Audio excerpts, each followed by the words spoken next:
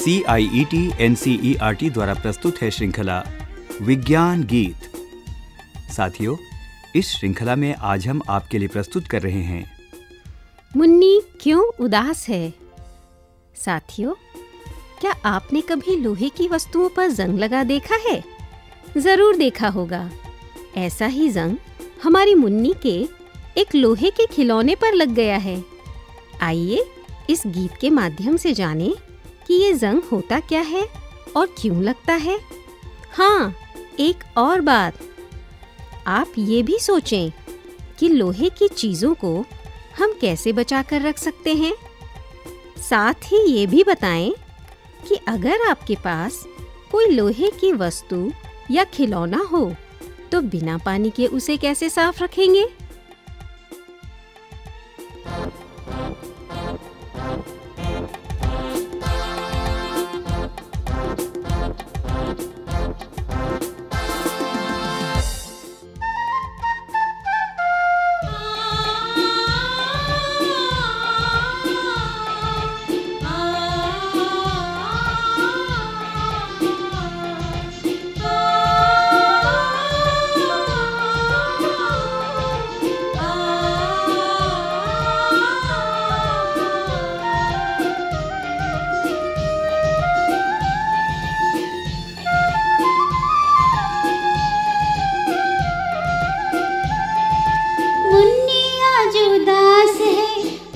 चुन्नू बीमार है। चुन्नू उसका साथी है लोहे का वो हाथी है। खेल कूद वो करता है मुन्नी का दिल रखता है। मुन्नी आज उदास है। चुन्नू की चमड़ी खराब हुई पपड़ी बनकर वो उतर रही। भूरी भूरी सी पपड़ी है खुजलाने पे उतरती बहुत रखा, नहलाना धुलाना रोज किया, फिर भी चमड़ी क्यों उतरी? इसमें उसकी क्या गलती? माँ ने उसको समझाया था, लोहे को पानी से बचाना था, मुन्नी को समझ न आया था, पानी से क्यों ना नहलाना था, मुन्नी को रोना आया अब। मुन्नी को रोना आया अब, माँ ने उसे पुचकारा तब, माँ बोली मुन्नी अब तुम ध्यान रखो, ये बात हमेशा याद रखो। लोहे की चीज़ों को हरदम पानी हवा से दूर रखो।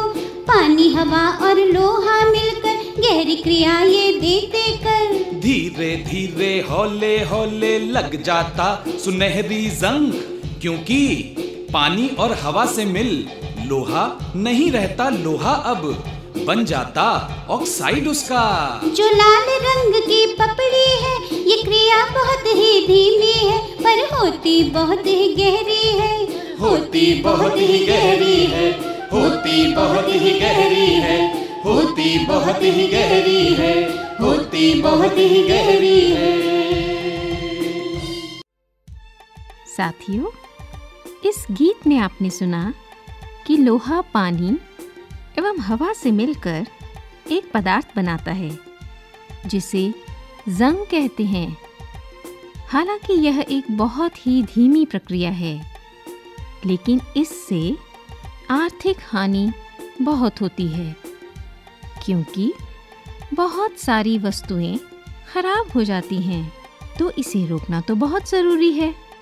तो अब आपके लिए कुछ करने को। ये जानने की कोशिश कीजिए कि जंग को रोकने के कौन कौन से तरीके हो सकते हैं? और हाँ ये तो आप जान ही चुके हैं कि धातुओं में जंग लगता है। लेकिन क्या सभी धातुओं में जंग लगता है?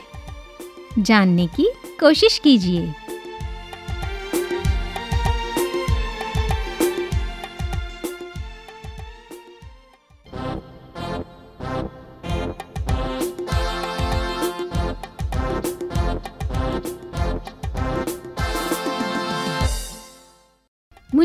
क्यों उदास है? अभी आप सुन रहे थे ये गीत। विषय संयोजन, वाचन एवं आलेख, डॉक्टर रुचि वर्मा। संगीत हरभजन सिंह। गायन स्वर अनुजा बिसारिया, विनीत और बच्चे। ध्वनियांकन बटी लैंगलिंगडो। निर्माण सहयोग मयंक थपलियाल। निर्माण एवं निर्देशन वंदना अरिमर्दन। यह कार्यक्रम C I E T N C E R T द्वारा प्रस्तुत किया गया।